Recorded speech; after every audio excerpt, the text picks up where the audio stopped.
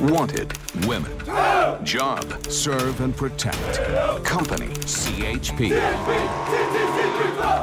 Looking for a few good women. Got what it takes? Monday at 10 on the CBS 13 News.